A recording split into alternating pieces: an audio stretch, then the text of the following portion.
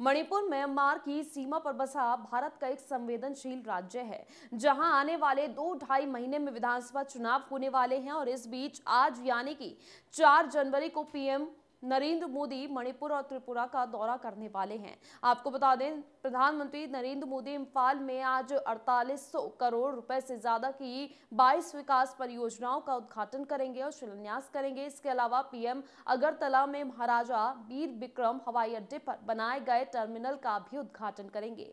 आपको बता दें कि राज्य में जैसे जैसे चुनाव नज़दीक आता जा रहा है, वैसे ही नेताओं की हलचल भी बढ़ने लगी है।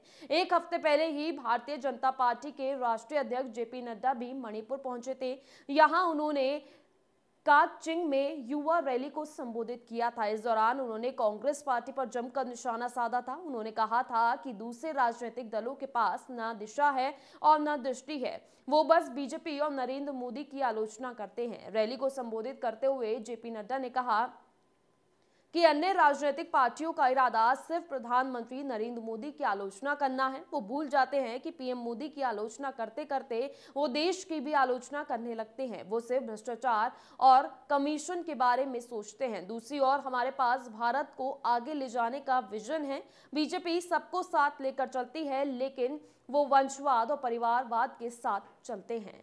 तो ऐसे में आपको बता दें, प्रधानमंत्री नरेंद्र मोदी का आज ये मणिपुर और त्रिपुरा का दौरा है, जहाँ पर बड़ी सौगात वो देने जा रहे हैं। जनता को आपको बता दें कि दो से ढाई महीने में चुनाव होने वाले हैं। उससे पहले ताबड़तोड़ रैलियाँ और दौरे चल रहे हैं। अब से कुछ ही दिन पहले जेपी नड्डा भी पहुँचे थे, जिसके बाद आज प्रधानमंत्री नरेंद्र मोदी भी पहुँच रहे हैं।